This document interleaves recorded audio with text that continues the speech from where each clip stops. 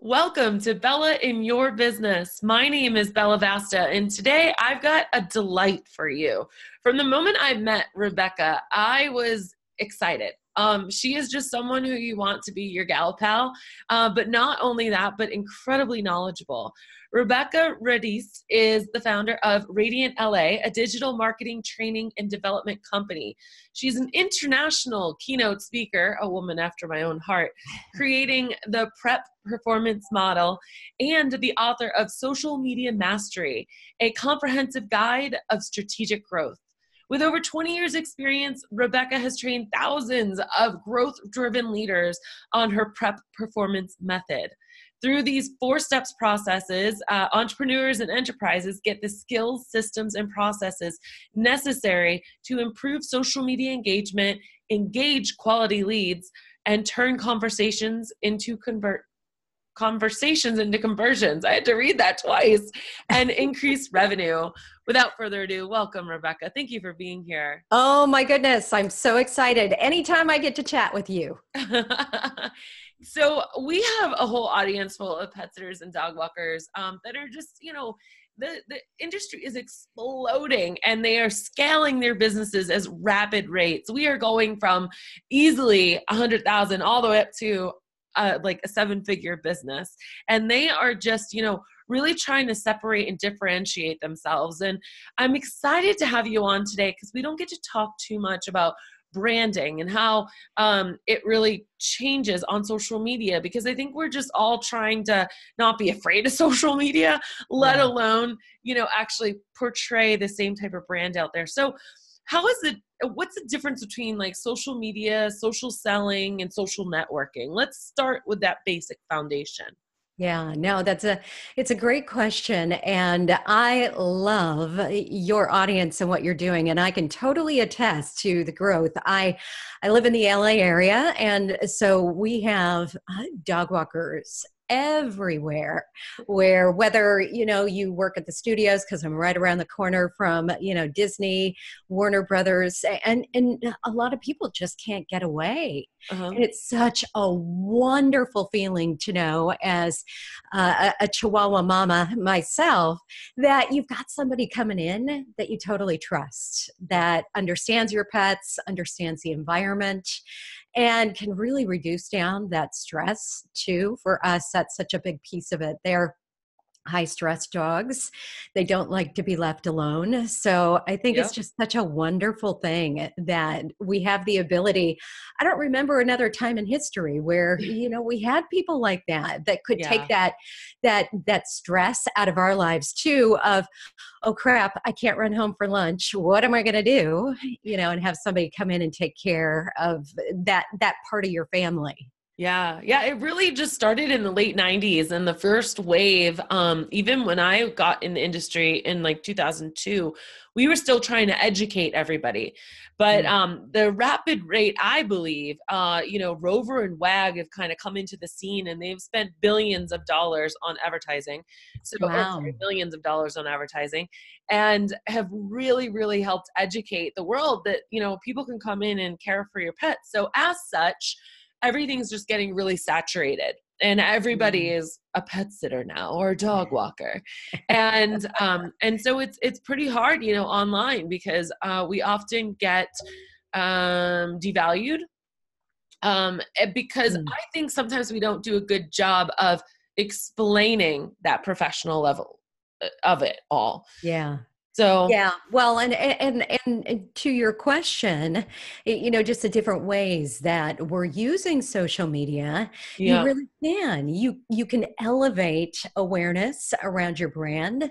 Uh, you can elevate awareness around the whole pet sitting industry, where yeah. it, a lot of people still are unaware that that's a thing that that's uh, yeah that that's a, right. a huge booming industry and so i think education uh, first and foremost is a terrific way to use social media because social media is creating that conversation. Uh-huh. So it's conversations like you and I are having on Facebook or Instagram or Twitter. And then we're able to take that into a conversation like this. So for that pet sitter that maybe is running a Facebook page or has a, a, Twitter account or Instagram and they're using it to create awareness, it's it's just starting with a conversation. So a lot of times it's it's talking about what are those frequently asked questions? What do people need to know to be able to hire you to do what you do?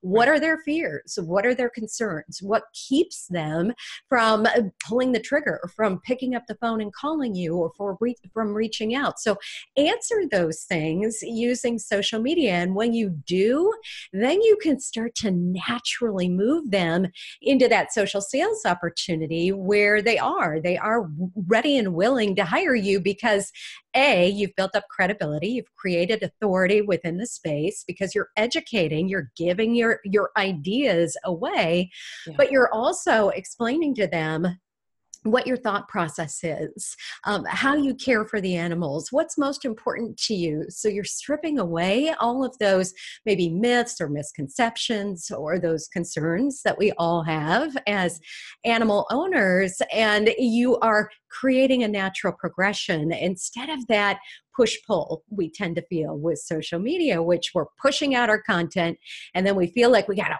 pull those people over to us, and we know that doesn't work. Right, right, right. I love it. And um I think you could speak a little bit on this too. It's having that journalistic mind almost when you are going about your day or things come across your desk or you hang up the phone from that person who you just helped solve like save the day for they their grandmother passed away and you have to you know they need a pet sitter they're not sure who to trust it's it's turning real life examples into those those stories with it using a journalistic mind to tell those stories on your social media so that it isn't that push and pull that you got you were just talking about yeah, and and what a terrific example too, because that situation is happening every single day yeah. in so many different ways. Where we do have uh, those moments of crisis, or those moments where I got to find somebody, and who are we going to look to? We're going to look to the people that are telling those stories, that are making their business relatable to us, right. and that have uh, really put that emotion into uh, your business. So, yeah, there's stuff happening every single day. I would make sure you have a way to create uh, or capture those moments. So as you're running around, as you're having those conversations, have a note-taking app where yeah. you are categorizing those those things. So they could be questions, they could be your exact solutions, they could be fears, concerns, whatever that category might be, and just keep a running catalog and then get those into a calendar type system where if you're creating content actively for your business every single day think about what are the buckets of content that you're going to share every day. So yeah. you could have three different buckets. You know, one is educational, one is inspirational, one is motivational, whatever your content buckets look like, add start to drop those ideas into that and then plug them into a calendar. So for example, you might share educational content on Mondays. You might share inspirational content on Tuesdays. You might share a how to on, on Wednesdays, what to do if your dog is choking, you know, things like that. So just think about what it is. What are those stories that you want to impart? What is that, that key takeaway you want them to get out of every piece of content that you share and then how are you going to make that easy on yourself? So how are you going to create a system and a process that takes a lot of the heavy lifting off of you? So it's getting it into a calendar so that you know you're a morning person you're going to get out of bed you're going to create that content every single day and then you know what system and, and tool you're going to put it into to get automation involved too so you're consistent I love that. And I think uh, those buckets that you talked about really help take away the anxiety of what do I post. So yes. if you make a conscious effort and you say, you know, I have these five topics and I'm going to post about three topics a week, you know, take that pressure off yourself so that you're just more conscious as you're going through your day. Maybe you give a dog a treat with your thumb tucked in so that your fingers don't get you know, nipped off. And you're like, oh, wow, yeah, that is something I do. I never really thought about it, but that might be something you can put in a did you know bucket, you know? Right. So I want you guys to really think about and write down some ideas. Pause this podcast right now if you can and and think about some some common themes. The cool thing about this, and this is going to move into our next thing, I want to find out how we can find new customers for our business with social media. And I would assume that one of those buckets could very well be like a, I want more customers, so I want to create a bucket that shows value of what we do or what we do maybe. Right. What do you think, right. Rebekah? Yeah, definitely. I, I immediately think of the Dodo videos, uh-huh are so fantastic. Um, and just what a great job they do in raising awareness around a, a, lot of different aspects of animals' lives. Yeah. And you could do the same exact thing. So you want new customers that are going to hire you to come into their home and maybe uh, you focus, you know, you're specialized in larger breed dogs, for example. So one of those buckets could be all of those things you just you were talking about how to you know feed a yep. larger breed dog without right. getting your fingers nipped off how to how to get them to go to the bathroom in the rain something yeah. i just dealt with last week you know just silly totally that sound silly but really mean a lot eh, right. to your target audience so it really does go down to uh, getting into the head and the heart of your audience you know what is going to bring them over to your social channels? Uh, what's going to interest them enough that they're going to want to stick around? But more than that what is it that's going to want them to learn more about you? What's going to make them want to go from uh, just kind of perusing your feed to maybe bouncing over to your website yeah. and reading through your blog or checking out more of your videos or actually contacting you. So you also want to think about that journey that your audience is on, where in that journey they're meeting you. So if they're meeting you for the first time on Facebook, mm-hmm. okay, what are they going to need to know about you? What are they going to need to hear from you that is going to pique their curiosity or give them enough of a, a comfort or a calm around your business that they do want to learn more? So put yourself in the shoes uh-huh. of your audience too, as you're starting to get to know your audience and then eh, really get involved in the conversation. You know, the beauty in being able to find our customers on social media is they're out there having conversations about you what you do right now they're talking mm-hmm. about their animals they're talking about their day-to-day lives they're talking mm-hmm. about the fact that you know their their eh, cat has kidney disease and what in the world you know are they going to do when they're out of town and who's going to care for that animal and who's going to understand you know those special uh, that specialty or their needs so they're having those conversations you just need to make sure that you're out there in the community actually listening and then you're creating content sharing content yeah. that solves those particular problems that was fantastic. So, what I hear is that people are already having these conversations, and it's our duty to kind of join the conversation or be a resource for the conversation or be able to be that attractive that they're having this conversation. And then, oh, look, I just found this kidney specialist i don't know something right yes exactly exactly i it's you know you mentioned that it can be very hard mm-hmm. to put yourself out there and yeah. especially when we're tooting our own horn right mm-hmm. when we're talking about what we do and th- this way you know when you're talking about what you do your passion shines through but also you're showing how knowledgeable you are in that mm-hmm. area so you can't be afraid to share those day-to-day stories of you know guys i just i, I got such a great opportunity yesterday had the chance to you know sit three different dogs and it, here was something that happened within that that moment yep. that you know every other pet owner is going to relate to so don't yeah. be afraid to tell those stories to expose a little bit of your day to day because that's yep. what people love too is to go behind the scenes with you see what you do um, it, especially in dropping my mic here, um, especially in areas where um, you know you can get out, you can walk around, you can take yeah. people with you. Um, maybe you have beautiful surroundings. It doesn't really matter. Just get creative, like you said, and think about how you can take your audience kind of along for the ride. Yeah, yeah. In all stories, just think about how you could break them up in a beginning, middle, end, and and right. and it's a great way to take that pressure off of yourself from feeling like you're always promoting. Because if then you just become a storyteller, it kind of takes yeah. that away. Rebekah, yeah. I got a side question for you. I'm wondering what you would say. Do you think that social media for service-based businesses would tend to be more a first line of attack or a second line of attack. You were talking about like how one uh, checks you out or gets to know you.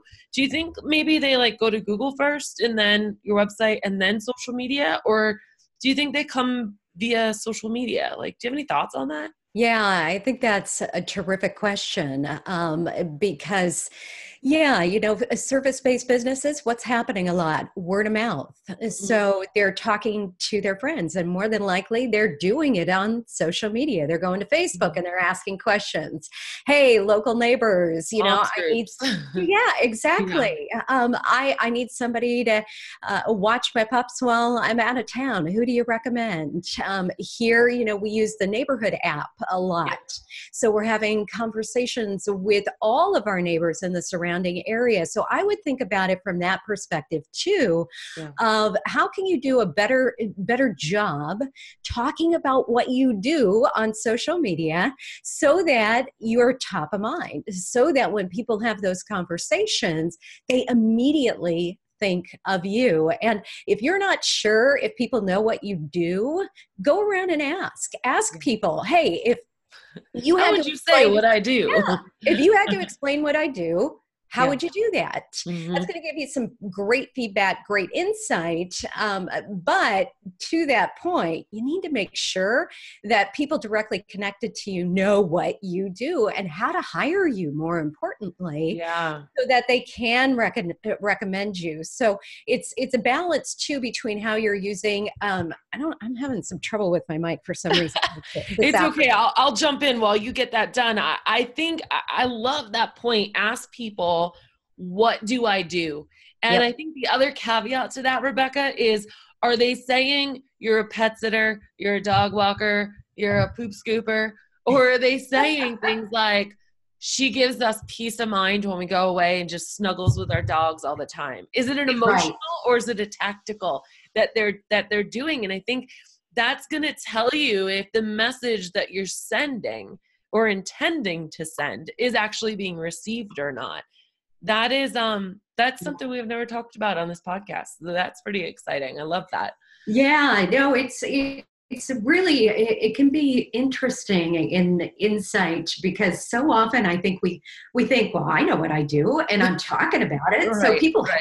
know what i yeah. do um, but in reality they they may not. And they're having all these conversations in these groups like we just discussed. Uh-huh. and you want to make sure that they know hey i'm actively seeking new clients. I'm actively looking for and spell out that's another really important piece of this is spell out who your perfect perfect client is. You know who is so can it? i give you an example? Yes. I, i'm looking for um, a recently new mom who whose firstborn child was four legs and now she doesn't have enough time to walk him and feels really guilty that she yeah. can't dedicate as much time because she's taking care of the new baby do you know anyone like that there you go. Yeah. That is the way you, you do it guys. Well and i love that because it, just think about what it does to your brain. So mm-hmm. you go from saying hey do you know anybody that wants to hire a pet sitter? I would immediately go hmm you know let me think about that. Yeah. i don't know but when you get really hyper specific and you say, I really have a heart for small dog breeds, do you know anybody that has a Yorkie or a Chihuahua that needs uh, somebody to come That's a great example. Yeah. So it's it's just it's planting that visual in people's minds too. And then you take that one step further and you're having those conversations on social media. So you're injecting that both onto your page or your group, but also into your personal profile where it doesn't feel spammy. It doesn't feel as if you're pushing your business you're just talking about what you're passionate about, who you love, maybe sharing pictures of those animals that you're spending time with. And again, that all leads, you know, it's kind of all roads back to what your greater purpose is and what your business is all about. And you're training people to become that word of mouth extension for your business. I love it. We are almost out of time, but I want to ask you one last question. And um, because I bet like a lot of people are thinking, like, oh, yeah, Bella and Rebekah, that sounds great, but you don't know how busy I am. You don't understand. I don't have much time. So if you had to leave our listeners with one social media site that you think would drive the most amount of traffic in general, which one would you pick? Well, you know, Facebook's still the big boy on the block. Let's face it, it's uh, it's the one that most people feel comfortable with, and it's where we're having all of our personal conversations, which I think in in your industry is hypercritical. Yeah. Um, you you want to be able to tap into not just the personal conversations, but of course business conversations as well. And that's why I say I think a healthy mix of both balancing your personal profile as well as your business on Facebook is going to be extremely important in 2019 and beyond. People want to know that that you're a real human being. They want to know that you have a life outside of your nine to 5 mm-hmm. and they want to be able to connect with you on a more personal level. And we have the ability to do that uh, through our personal profiles. So to me, it's still Facebook um, yeah. because it is where people are talking, where they're having conversations, where you can listen, and where you can really get involved and hit it from multiple different angles. And I know you're a huge fan, huge proponent of Facebook. Yeah, definitely. And then it goes to say when, you know, the CEO of Facebook is saying he wants to encourage more meaningful relationships um, yeah. as a, you know, keyword there. Um, yeah, I, I would totally agree with you. Yeah. Rebekah, yeah. where can people go to do what I like to call cyberstock? I love it. Get as most uh, of your goodness as they can to follow you, learn more about you. You bet. So, best place is RebekahRadice.com. That's my website, my blog. You can find my podcast, Brand Authority Podcast, there as well. And then any social network, you're just going to find me under my name. So, at Rebekah Radice. Awesome. And that's R E B E K A H, you guys. Yeah, my parents had to make it difficult on me. right. and we'll put that all in the show link and notes too. Um, so, you guys, if you loved this episode, I would love to hear your feedback by either finding out where you found it posted on and writing a a comment, tag myself, tag Rebekah with a K, um, or go ahead and leave a review on iTunes. We always love that too. And remember, when life gets you down, always keep jumping.